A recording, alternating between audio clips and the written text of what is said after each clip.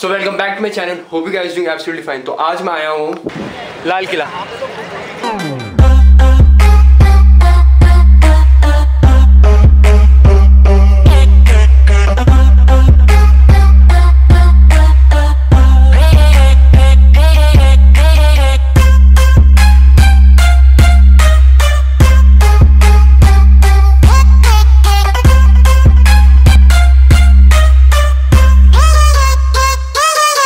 Twerk it, baby.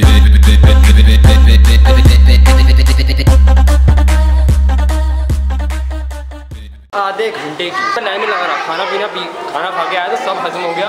अब भूख ऊपर से लग रही है और घूमने इतना सारा है। तो मैंने म्यूज़ियम और मॉन्यूमेंट की सबकी टिकट लिया है। दैट प्लेस जहाँ से प्रधानमंत्री स्पीच देते हैं पंद्रह अगस्त को।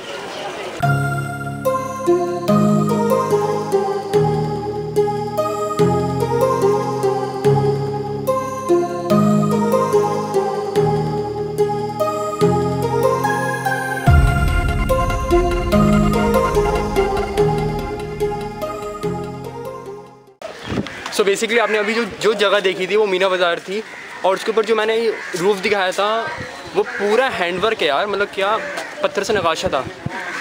पुरानी चीज़ों में दम तो थी और है भी, जो अभी तक टिकी हुई है।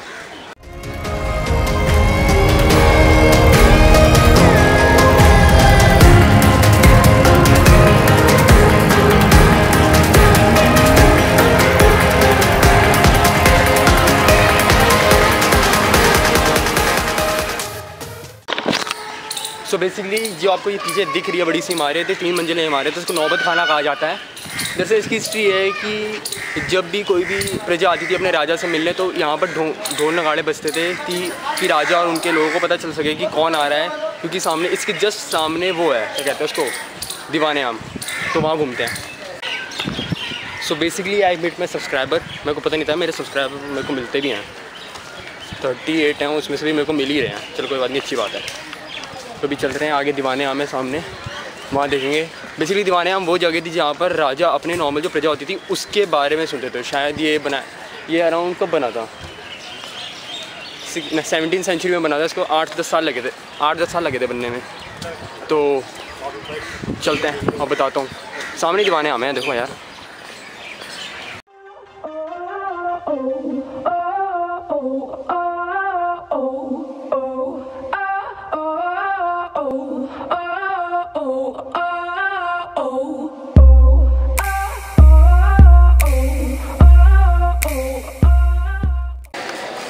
So basically it is inside of the Diwan-i Aam तो यहाँ पर जितना भी आपको ये सारा एरिया दिख रहा है, यहाँ पर नॉर्मल जितना भी जनता होती थी, वो बैठती थी और यहाँ पर महाराजा बैठते थे।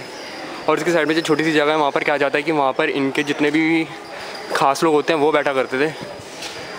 और इसको मतलब ये गंदा ना हो तो पूरा शीशे से कवर है यार। ऊपर राजा, नीचे प्रजा और इधर जितने भी उनके गण होते होंगे, वो बैठते होंगे। क्या सो बेसिकली इट इज़ दीवाने आम।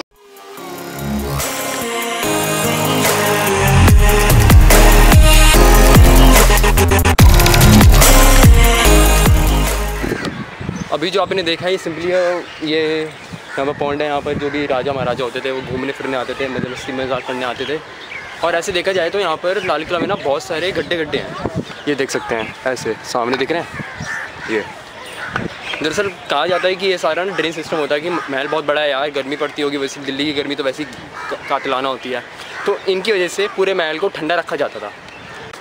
तो जैसे मैंने आपको बताया कि जितनी भी नहरें हैं यहाँ पर जिससे पूरे महल को ठंडा रखा जाता था, उनको ठंडा रखने का मेन सोच था ये।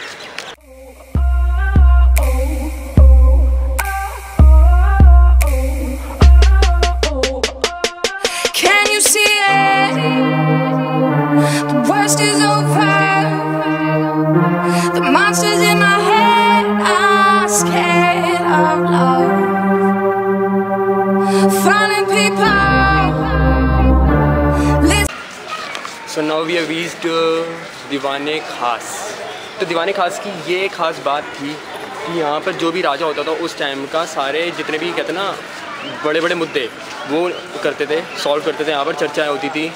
और यार, बहुत सुंदर है यार ये तो। देखो तुम। अगर आप ये ध्यान से देखोगे, ये जो फूल हैं, ये खिले हुए फूल हैं। लेकिन जो ताजमहल पे फूल है ना, वो थोड़े मुरझाए हुए हैं, क्योंकि ये थोड़ा खुशी का था, वो गम की जगह है, इसलिए। ये भी एक रीज़न होता था। अरे, बच्चों के मज़े हैं। इनको बच्चों को कुछ कहता नहीं है, जहाँ पर रिस्ट्रिक्टेड एरिया वहाँ पर भी घूमते हैं। या काश वो बच्चे बच्चे मारते हैं। भाई, अगर किसी ने कोई गाइड बना ना तो उसके साथ साथ चलते रहो, बताओ मत। ऐसी ऐसी चीज़ें पता करने को मिलती है ना। मैं तो ये बता रहा था कि यहाँ से सारा सोना, जितना भी जड़ा हुआ था, सब निकाला गया। कैसे निकाला गया था? अंदर लगा दी आग। सोना था, पिघल गया, नीचे आया, ले गए। टेक्निक है भाई। और इससे इतना जितना भी सारा काम दिख रहा है, जितना भी सोना था, सब इटली में है। और जो हीरा था मेन कोहिनूर यहाँ का, वो है लंदन। हम वहीं पर है। और अब ये जितने भी दिख रहे हैं ना, इन सब पे जितने भी सिल के पर्दे होते थे कर्टन्स होते थे, वो सारे टांगे जाते थे। ये कितने बड़े बड़े होते थे यार। अपने तो छोटे छोटे होते हैं। और राजा थे हम लोग, महाराजा। हैं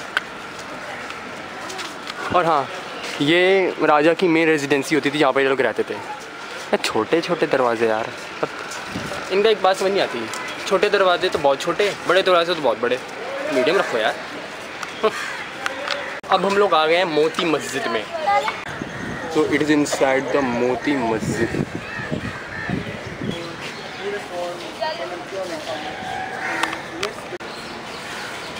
And आप जितना भी एरिया देख रहे हैं, सारा हयात बख्श है। ये इस पूरे महल का सबसे सुंदर गार्डन है। और गैस आपको जितना भी एरिया दिख रहा है ना, ये सारा ब्रिटिशर्स ने बनवाया था अपनी आर्मी को रखने के लिए। मतलब उनकी रेजिडेंसी बनाई थी। तो जो एक तरफ़ मुगलई, एक तरफ़ ब्रिटिशर्स और बीच में हम हिंदूस। और सामने ये कुछ आ गया है। एक बाग कितना प्यारा है यार, ये देखो।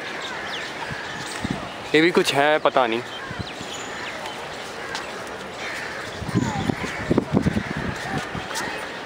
इसे कहा जाता है, क्या कहते हैं? ज़फ़र महल। तो बेसिकली ज़फ़र महल है, यहाँ पर जितना भी दिख रहा पानी हुआ करता था, अभी भी है, थोड़ा सा गंदा हो चुका है, लेकिन ये सारा ज़फ़र महल है। इसका मेन रोल ये होता था कि जितने भी गाने के प्रोग्राम होते थे जितने कोई भी वो होते थे। गाने के प्रोग्राम होंगे इंस्ट्रूमेंट बजाने होंगे ढोल नगाड़े जो भी होता था यही होता था। तो यहाँ पर अंदर बैठ जाते थे ढोल जगड़ो दो सब होता था। तो बहुत अच्छा है यार। अभी मेंटेन करके रखा है ये पूरा लाल पत्थर से बना रखा है और कहा जाता है ये पहले ला, जो लाल किला था वो लाल नहीं सफ़ेद था क्योंकि वो लाइम स्टोन से बना हुआ था। लेकिन जब ब्रिटिश सरकार आई थी तो उसने सारे लाइम वो सारे लाइम स्टोन को निकलवा के इसमें लाल पत्थर करवा दिए। खाम का मेहनत करी यार। जैसे उन्होंने लाल पत्थर डाले ना, लाल पत्थर से पूरा जड़ा, तब जाके इसका नाम लाल किला हो गया।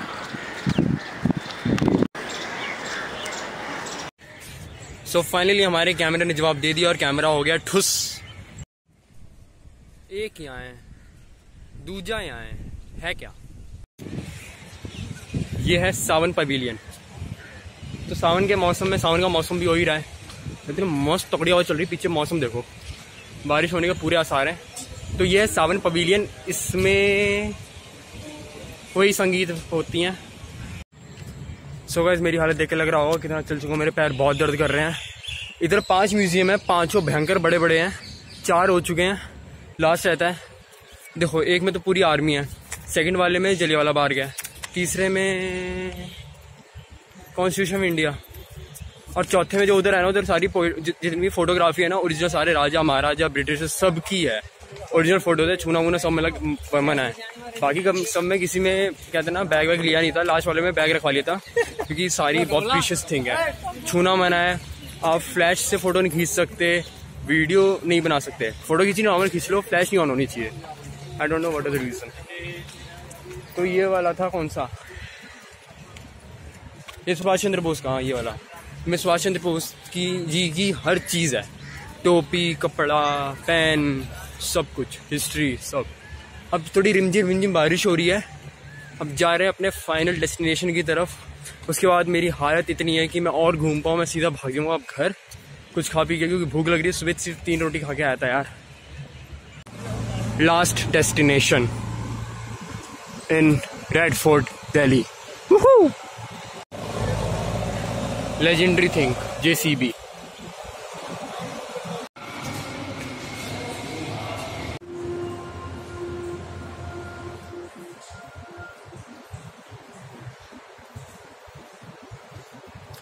thank you all you guys to make my country independent so finally पांचवा म्यूज़ियम भी खत्म हुआ। अब अब चलते हैं घर और आराम करते हैं। मेरे पैर टूट रहे हैं। So it is time to end this vlog. Like, comments, and subscribe to my channel Raghav Pandey Vlogs. Thank you. Jai Hind.